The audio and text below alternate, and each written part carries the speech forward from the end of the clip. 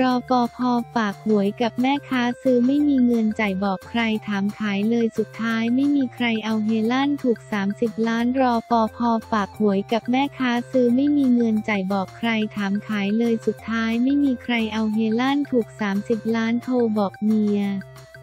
จะสบายแล้วเมียยังนึกว่าติดโควิดวันที่ 17 เมษายน 65 ผู้สื่อข่าวได้รับแจ้งว่ามีชาวบ้านตำบลนาป่าอำเภอเมืองจังหวัดเพชรบูรณ์ซึ่งไปทำงานเป็นรอปภอยู่กรุงเทพมหานครถูกสลากกินแบ่งรัฐบาลรางวัลที่ 1 งวดประจำวันที่ 16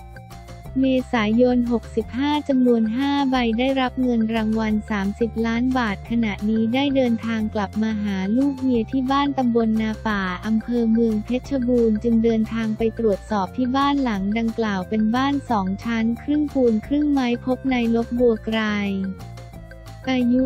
59 ปี ซึ่งเป็นเจ้าของบ้านหลังดังกล่าว และเป็นผู้โชคดีถูกสลากกินแบ่งรัฐบาล อยู่ที่บ้านพร้อมเปิดเผยกับผู้สื่อข่าวว่า ก่อนหน้านี้ตนก็ประกอบอาชีพทำไร่ทำนาอยู่ในพื้นที่ตำบลนาป่าอำเภอเมืองเพชรบูรณ์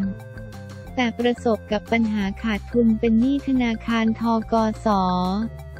จึงได้ตัดสินใจไปสมัครงานที่กรุงเทพมหานคร โดยได้เป็นรอปภอยู่ที่ไปรษณีย์ไทยสำนักงานใหญ่หลักสี่กทม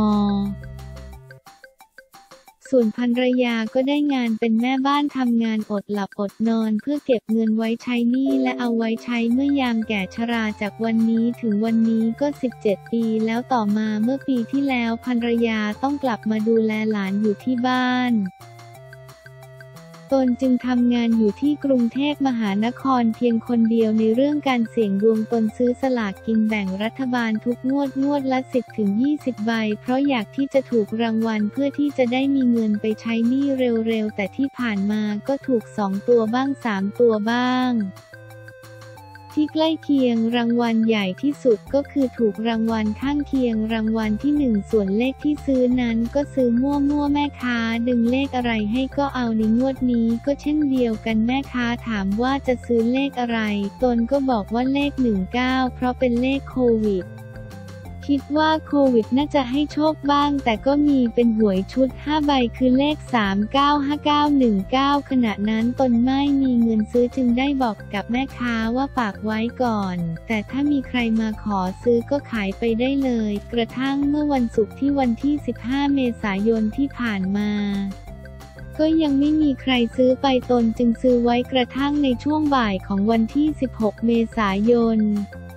หลังออกสลากเสร็จตนจึงใช้โทรศัพท์ตรวจปรากฏว่าถูกรางวัลที่หนึ่งแต่ก็ไม่ได้รู้สึกตื่นเต้นอะไรมากมาย จากนั้นจึงได้โทรแจ้งทางบ้านสำหรับเงินรางวัลที่ได้นั้นก็ยังไม่ได้วางแผนว่าจะใช้อย่างไรบ้าง แต่หลักๆ ก็คือจะนำไปใช้หนี้ธนาคารแบ่งให้ลูกๆ แบ่งทำบุญและฝากธนาคารไว้ใช้ในยามที่จะเป็น จากนี้ก็จะเดินทางไปกรุงเทพมหานครเพื่อเก็บข้าวของและลาออกจากรอปภเพื่อที่จะกลับมาอยู่ที่บ้านอย่างพร้อมหน้าพร้อมและอีกครั้ง ด้านนางบานบัวไกรอายุ 58 ปีภรรยาของนายลบเปิดเผยว่านายลบได้โทรศัพท์มาหาตนพร้อมกับพูดว่า สบายแล้วตนก็รู้สึกงงทีแรกคิดว่านายลบติดโควิดจึงถามกลับไปว่าสบายอะไรนายลบตอบเบาๆว่าถูกรางวัลที่หนึ่ง ได้เงิน 30 ล้านตนรู้สึกดีใจมากจะได้ไม่ต้องลำบากกันอีกแล้ว ส่วนเงินที่ได้ก็จะนำไปใช้หนี้แบ่งให้ลูกๆทำบุญทำทานและฝากไว้ในธนาคารเอาไว้ใช้ยามแก่เฒ่า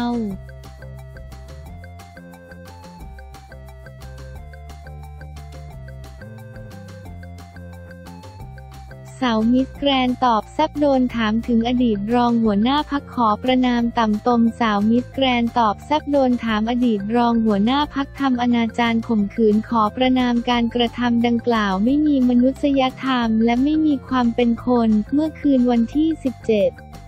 เมษายน 65 ที่ขอนแก่นฮอลล์ศูนย์การค้าเซ็นทรัลขอนแก่นกองประกวด Miss Grand Thailand 2022 จัดการประกวด Miss Grand ขวัญใจขอนแก่นบรรยากาศคึกคักและเต็มไปด้วยกองเชียร์ที่มากันแน่นฮอลล์ ต่างทุ่มคะแนนโหวตให้ Miss Grand ที่ชื่นชอบเข้าสู่รอบ 10 คนสุดท้ายอัตโนมัติ โดยมีแพมเปรมิกาพาเมล่า และอาทิตย์เมฆอากาศรับหน้าที่พิธีกรเปิดเวทีด้วยการแสดงโชว์วงส่งนางไหของมหาวิทยาลัยขอนแก่น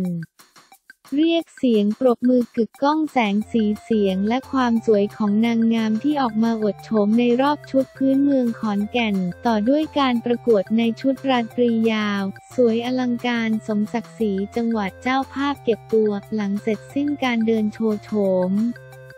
พิธีกรประกาศผลผู้เข้ารอบ 20 คนสุดท้ายจาก 4 ภาคโดยผู้เข้ารอบ ภาคเหนือ ได้แก่ Miss Grand เชียงใหม่ ลำปางพิจิตรน่านแพร่ ภาคกลาง Miss Grand กรุงเทพมหานคร สมุทรสงคราม ปทุมธานี ชลบุรีอ่างทอง ภาคอีสาน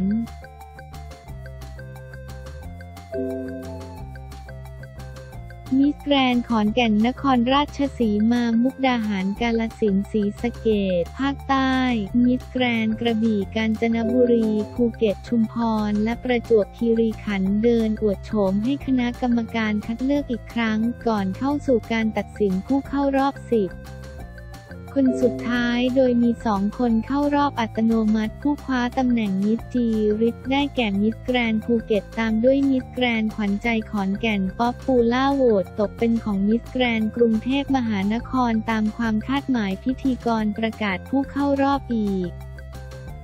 8 คนได้แก่มิสแกรนเชียงใหม่ น่าน ขอนแก่น มุกดาหาร ชนบุรี อ่างทอง ชุมพร ประจวบคีรีขันธ์ และพิจิตรที่คะแนนเท่ากันรวมเป็น 11 คนสู่รอบการตอบคำถามเพื่อคัดเลือก 5 คนสุดท้ายคำถามนั้นเรียกเสียงฮือฮา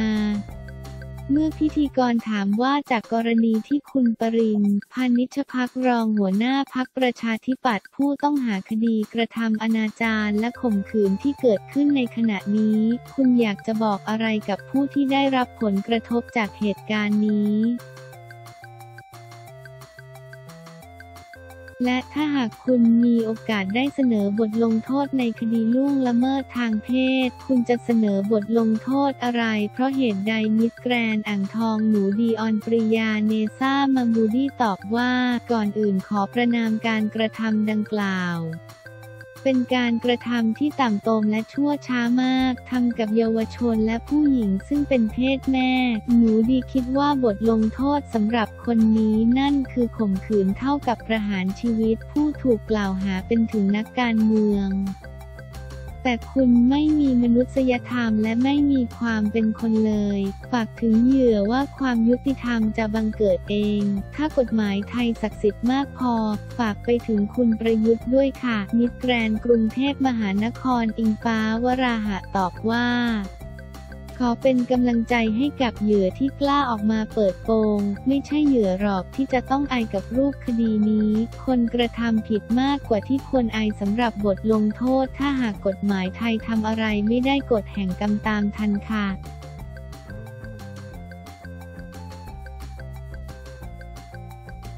พิธีกรประกาศผลผู้เข้ารอบ 5 คนสุดท้ายได้แก่มิสแกรนอ่างทองน่านชนบุรีขอนแก่นและกรุงเทพมหานครเข้าสู่รอบตอบคำถามสุดท้ายที่ว่าหากคุณมีโอกาสได้พบนายกรัฐมนตรี คุณจะมีวิธีการใดในการช่วยส่งเสริมและผลักดันจังหวัดขอนแก่น ซึ่งทั้ง 5 สาวงามตอบคำถามได้ตรงประเด็น แต่ผู้ชนะมีเพียงหนึ่งเดียวเท่านั้น และแล้วนาทีระทึกก็มาถึงพิธีกรประกาศผู้ได้รับตำแหน่งรองชนะเลิศอันดับ2ได้แก่มิสแกรนด์ชลบุรีน้ำทิพย์วัชราพรรวยพงษ์ มิสแกรนด์ขอนแก่นบิวตี้วรัญชนาระดมเล็ก และมิสแกรนด์น่านใบเฟิร์นกันพัดพรรุ่งเรืองเหลือสาวงามสองคนมิสแกรนด์กรุงเทพมหานคร และมิสแกรนด์อ่างทองยืนจับมือลุ้นกันหนักพิธีกรประกาศผลผู้ได้รับตำแหน่งมิสแกรนด์ขวัญใจขอนแก่นได้แก่มิสแกรนด์อ่างทองหนูดีออนปริยาเนซ่ามามูดี้ รองอันดับหนึ่งตกเป็นของมิสแกรนด์กรุงเทพมหานคร อิงฟ้าวราหะหลังจากนี้ต้องลุ้นกันต่อไปว่าสาวงามจังหวัดใดจะได้ครอบครองมงกุฎทอง พร้อมตำแหน่งมิสแกรนด์ไทยแลนด์คนที่ 10 ของประเทศในการประกวดรอบตัดสินค่ำคืนวันที่ 30 เมษายนนี้